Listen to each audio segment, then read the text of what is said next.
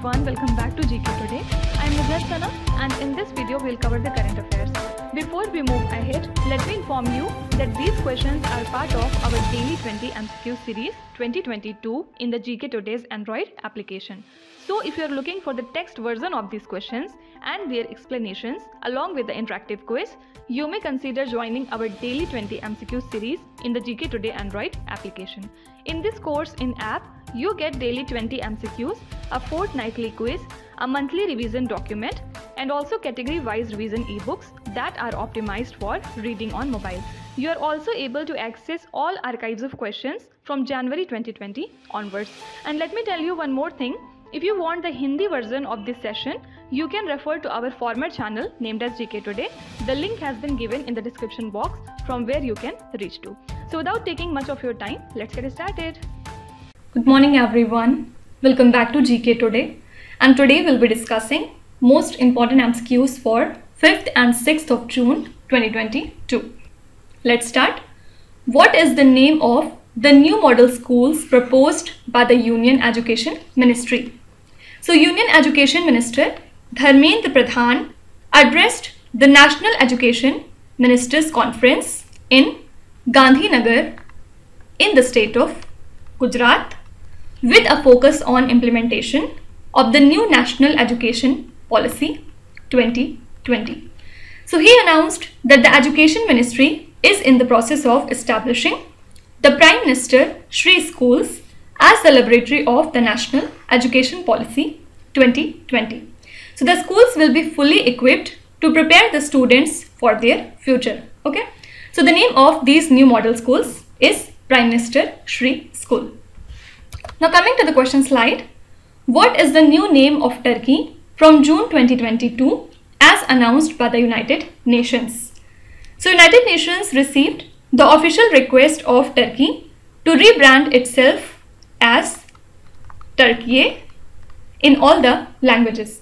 And United Nations Chief's spokesperson has announced that the change is immediate because over the past few years, the country sought to change the branding on its products from made in Turkey to made in Türkiye. Right?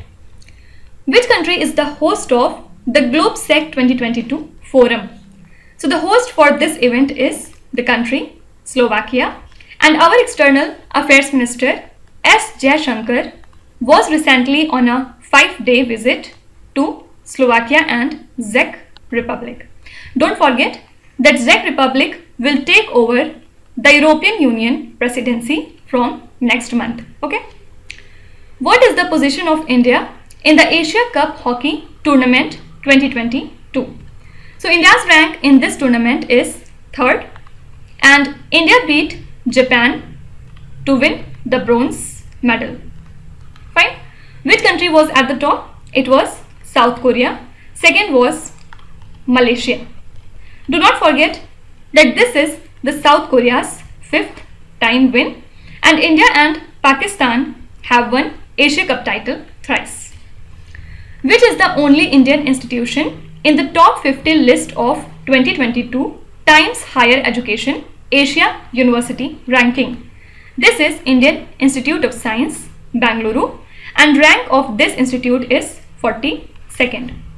So India is the third most represented country with total 71 universities on the list and uh, which institutes were under the top 100 first is JSSAC of higher education and research and its rank was 65 then there was IIT Ropar with rank 68 and then there was IIT Indore. And its rank was 87 okay. What is the name of the campaign launched to ensure the complete COVID-19 vaccination in June 2022. So the name of this particular campaign is Har Ghar Dastak Campaign 2.0. Next question. When is the World Bicycle Day celebrated every year?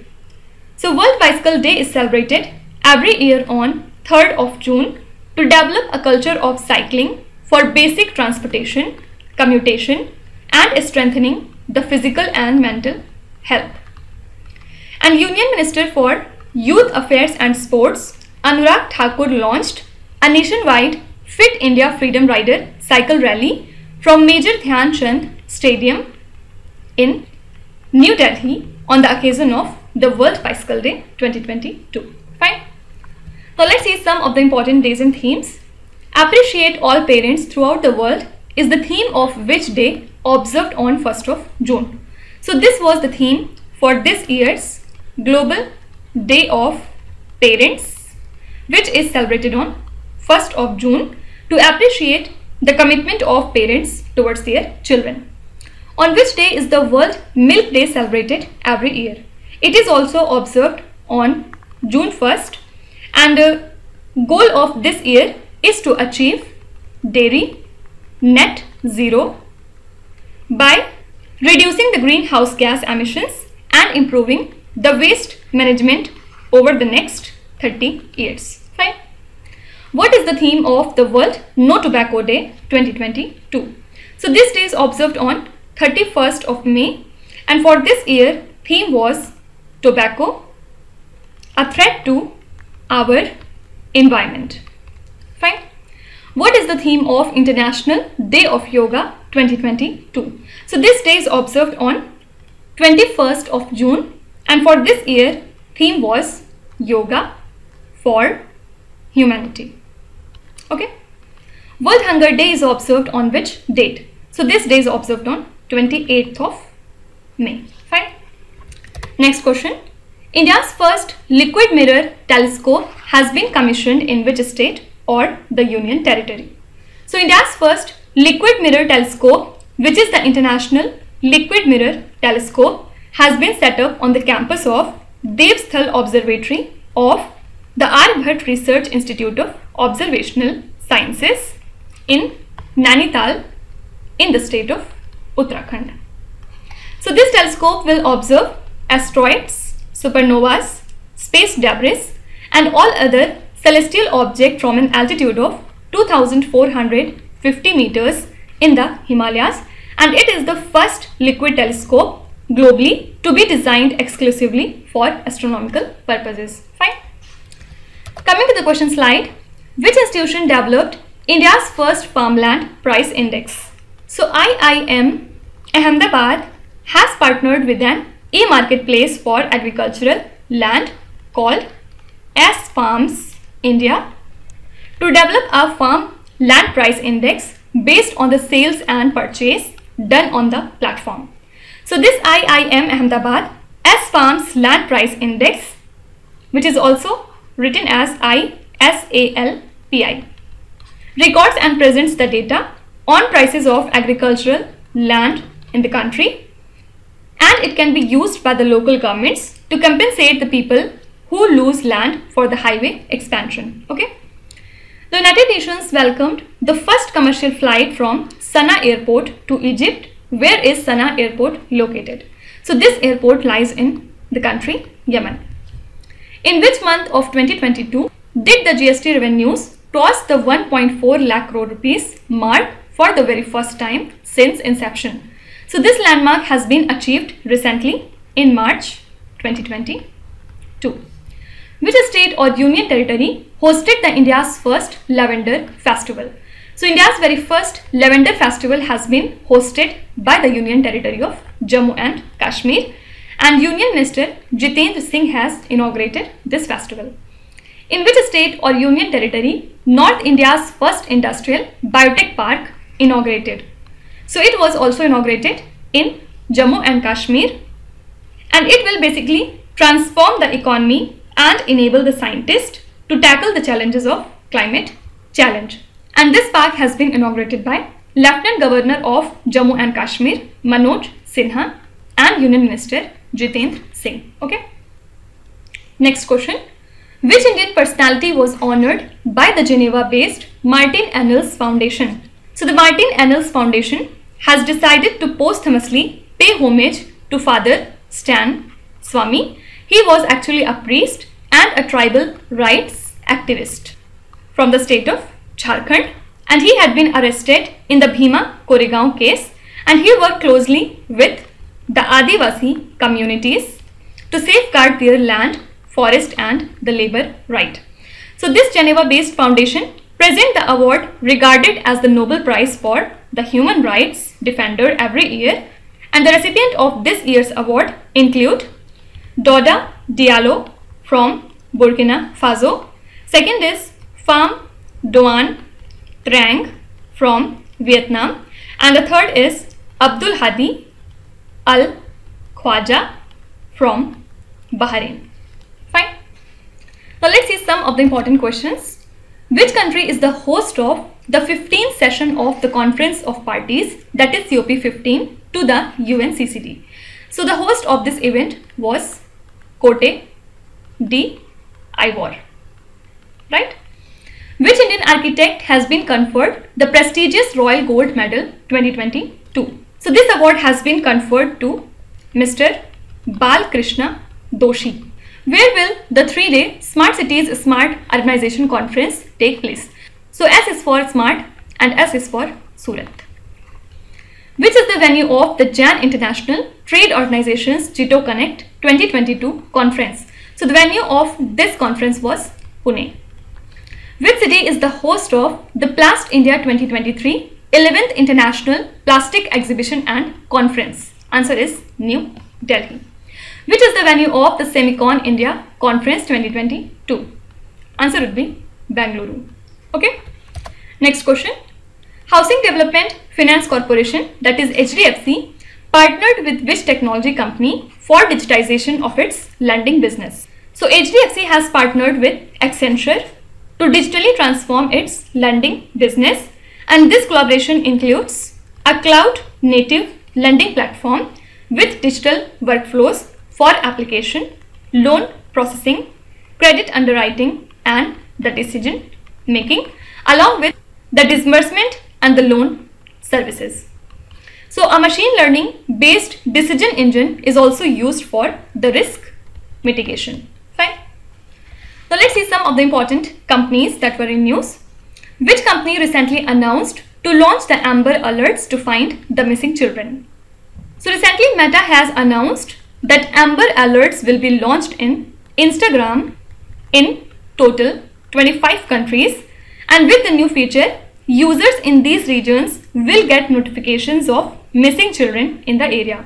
So this feature was already present on Facebook and it has helped find hundreds of children since its launch in the year 2015 and Amber Alerts for Instagram was developed in partnership with various organizations various organizations like US National Center for Missing and Exploited Children and the International Center for Missing and Exploited Children.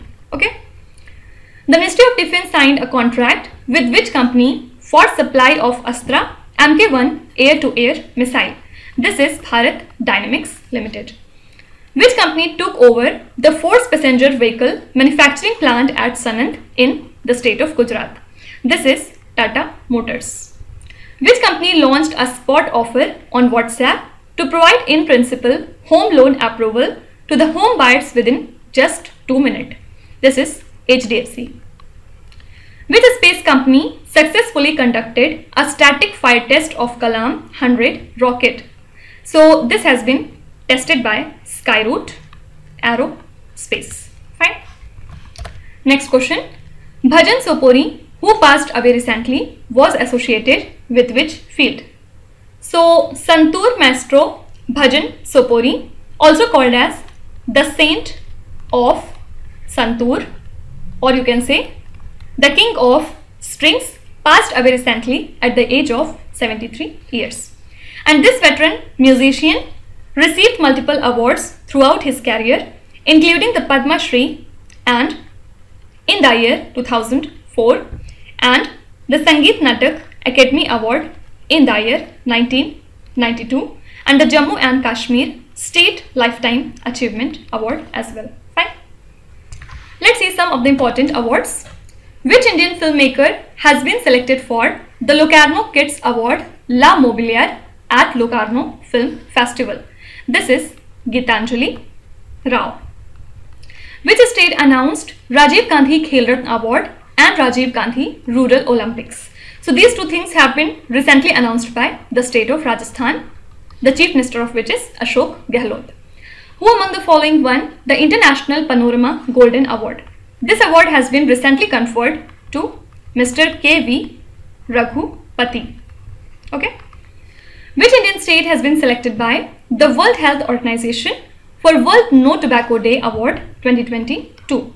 So recently WHO has selected the state Jharkhand for this award because of their continuous effort to reduce the tobacco consumption. Who has won the 2022 Wangari Maathai Forest Champions Award? This is Cécile Ndjebet from Cameroon. Okay. Next question. Which organization organized the Startup India 2022 Expo and Conclave? So Union Minister of State Dr. Jitendra Singh has addressed the Startup India 2022 Expo and Conclave as a chief guest and it was organized by the PhD Chamber of Commerce in New Delhi. So after the launch of Startup India, Stand Up India, the number of startups in India has grown from 400 in the year 2014 to 70,000 now in the year 2022. Okay. Let's see some of the important organizations. Global Collaboration Village is the new initiative of which organization? So this is the new initiative of World Economic Forum and it has been launched in collaboration with Accenture and Microsoft and aim is to define and build the metaverse and it will also bring together the key global stakeholders to address the critical global issues, right? Which organization launched the Alliance of CEO Climate Action Leaders India? So again answer is the World Economic Forum and it will serve as a high level platform to support the business leaders in planning and implementing the programs to achieve the climate targets including net zero economic growth. Fine. Which organization announced to fund $30 billion to tackle the global food crisis? This is World Bank. Indian Space Research Organization successfully tested solid rocket booster HS200. This is the component of which mission? So this is the component of our Gaganyaan mission. Agriculture Ministry signed a memorandum of understanding with which organization for the technical support towards Pradhan Mantri Fasal Bima Yojana and Kisan Credit Card Scheme. So recently Ministry of Agriculture has signed this MOU with United Nations Development Program to get the technical support for these two schemes. Fine. Next question. Uttarakhand Chief Minister Pushkar Singh Dhami won the bypoll from which constituency? So Chief Minister of Uttarakhand, Mr. Pushkar Singh Dhami won from the Champawat bypoll by a margin of over 55,000 votes and earlier he had lost from Khatima Assembly constituency in the Uttarakhand Assembly polls 2022 even though BJP won a clear majority in the state. So this was a crucial victory for the chief minister to win the bypoll to retain the chief minister post, right? Now let's see some of the important states that were in news. Panna Tiger Reserve is located in which state or the union territory? So this tiger reserve is located in the Vindhyan Hills in the northern Madhya Pradesh and Union Ministry of Jal Shakti recently released the final report of integrated landscape management plan for the greater Panna landscape. So this plan has been prepared in respect of the Ken Betwa link project by the Wildlife Institute of India for better habitat protection and management of species such as tiger, vulture and the gharial, right? Which state or union territory has launched faceless road transport offices? So the government of Maharashtra has decided to make six road transport offices services online. So people who need a permanent driving license or verification for an international driving license will need to go to the RTO and Maharashtra's transport department provides 80 online services and now 6 more services have been included in this, right?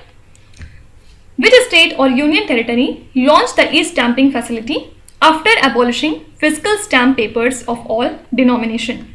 This is the state Punjab. And few days back, the Chief Minister of Punjab has also launched Lok Milani program for the grievance redressal of the citizens of Punjab. Which state or union territory has developed a mobile application called ACB 14400 for lodging the complaints against corruption. This state is Andhra Pradesh. Which state has decided to conduct a caste-based census named as Jati Adharit Garda.